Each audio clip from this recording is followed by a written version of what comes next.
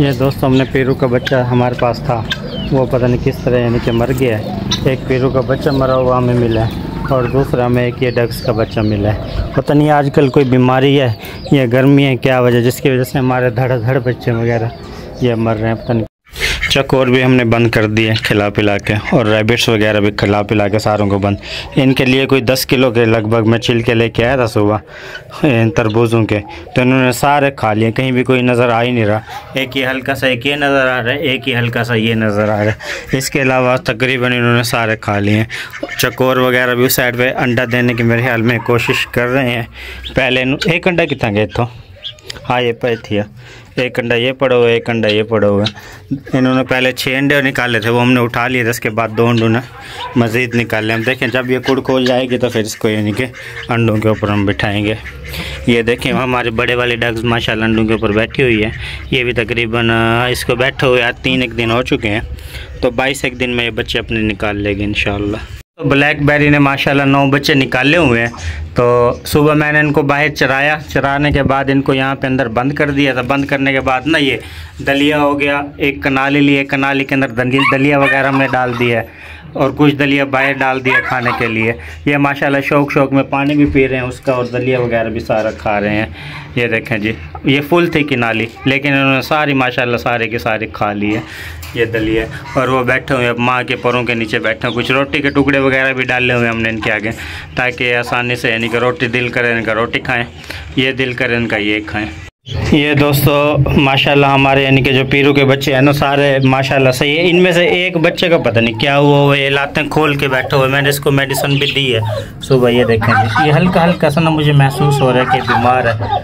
ये लातों से महसूस हो रहा है कि बीमार है, क्या चीज़ है। दूसरे बच्चे माशाल्लाह सारे तंदुरुस्त हैं। ये देखें जी, ये इसके पाँव में हमें कुछ नज़र भी नहीं आ रही है क्या हुआ हुआ है लेकिन ये फिर बिना हल्का हल्का सा ना बीमार नुमा महसूस हो रहे हैं हमें। तो इसके आगे भी हमने पानी वगैरह ये रख दिया है, दलिया वगैरह रख दिया है। कुछ दलिया हमने पानी के अंदर भिगो दिया ताकि अपनी खुशी के साथ जो इनका दिल करेगा खाएँगे ये। और इस साइड पे हमारे जो पैरट्स वगैरह हैं, पैरट्स वगैरह को भी दाल वगैरह खिला के इसको भी बंद कर दिया आज हम सुबह लेट आए तो जिसकी वजह से वीडियो बनाना हमें बस इतना ज़्यादा यानी कि याद नहीं आया। तो बस इनका हमने खाना पिलाना, इनको सारों को कर दिया। खाना पिलाने के बाद फिर अब मैं इनके वीडियो वगैरह बना रहा हूँ। लड़के ने माशाल्लाह रंग रोगन अंदर कर दिया था सारा। ये देखें जी सारा रंग रोगन वगैरह हो गया। इस साइड पे देखें माशाल्लाह सारा ज़बरदस्त है। जो हमारे वाले छोटे वाले डग्स हैं ना, छोटे वाले डग्स का जो मुर्गाबी का बच्चा छोटा, ये देखें, ये एक बच्चों का और ये भी हल्का हल्का बीमार हो चुका है। इसमें से हम, हमारे पास जो छोटे वाले जितने भी डग्स आए थे ना, सारे डग्स में कोई बच्चे अपने नहीं पालते और ना ही इनका कोई ऐसा निज़ाम है, बस ये बच्चे देती हैं, बच्चे यानी कि हमारे पास मर जाते हैं ये। इनका पता नहीं कोई मेडिसन का निज़ाम होता है, क्या होता है, वो तो हमें नहीं पता। ये देखें, ये भी बीमार हो गया हालाँकि ये सुबह सही था, रात सही था सॉरी रात सही था, रात में इसको कुछ या कुछ हो गया। और उस साइड पर माशाल्लाह दूसरे बच्चे भी सारे सही हैं ऑस्ट्रेलियन तोते वगैरह। ये भी इनका कुछ दिन के अंदर हम इनको यहाँ पे बड़े वाले केज में खोल देंगे। ये देखें जी, बड़े वाला केज हमारा मुकम्मल रंग पेंट हो चुका है। इसको दो चार दिन के अंदर ना, यानी कि हम इनको सारों को अंदर खोल देंगे। अभी कुछ परिंदे वगैरह हमने और लेके आने हैं तो उसके बाद हम इनको खोलेंगे। ऊपर छत वगैरह वाली साइड पे बाँस वगैरह, इनमें भी जो सुराख वगैरह सारे हमने बंद कर दिए हैं। अब माशाल्लाह इसके अंदर कोई किसी किस्म का कोई सुराख वगैरह नहीं बचा हुआ। मिस्त्री साहब आए थे सुबह, कल। उन्होंने जो अपना काम वगैरह ये सारे हाफ़ हाफ़ खुडे बना के चले गए थे, आज उन्होंने आना है पिछले टाइम वो तकरीबन चार बजे के लगभग आएँगे। चार बजे के बाद वो अपना यानी कि ये जो हमारा पिंजरा वगैरह है, इसको सेट करेंगे, इसको दीवार के साथ लगाएँगे और दीवार के साथ लगा के जो इसके अंदर यानी कि इसके नीचे ईंटें वगैरह की दीवारें वगैरह वो देंगे।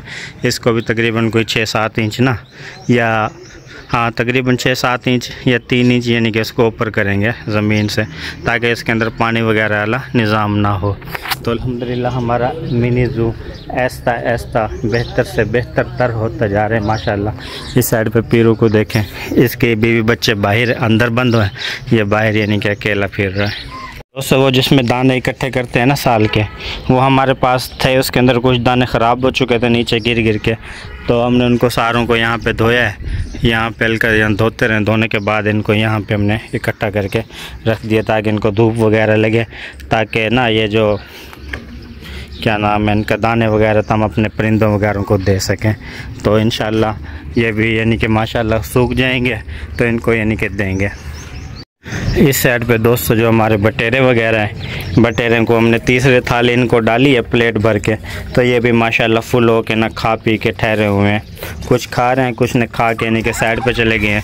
देखें, कुछ तो एक आधा तो मुर्गा भी वाले उसके अंदर सॉरी खुमरे वाले केज के अंदर अंदर छुपा हुआ है, कुछ उस साइड पे बैठे हुए हैं।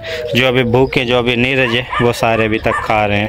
पानी का बर्तन भी इनका फुल है। और ऊपर जो से ये बड़े खुमरे वगैरह हैं, वो भी खा पी के ना ऊपर बैठे हुए हैं। बच्चे वगैरह कुछ दे रहे हैं। ये दोस्तों, हमने पेरू का बच्चा हमारे पास था। वो पता नहीं किस तरह, यानी कि मर गया है। एक पेरू का बच्चा मरा हुआ हमें मिला है। और दूसरा हमें एक ये डग्स का बच्चा मिला है। पता नहीं आजकल कोई बीमारी है या गर्मी है, क्या वजह, जिसकी वजह से हमारे धड़ धड़ बच्चे वगैरह ये मर रहे हैं, पता नहीं क्या मसले बाकी माशाल्लाह, दूसरे फिट हैं। इनको हमने शाम वाला खाना वाना बाजरा वगैरह डाल दिया। अच्छा ये जो बच्चा है ना, ये सुबह से ही बीमार था इसको, सुबह से ही कोई मसला मसाइल हुआ था।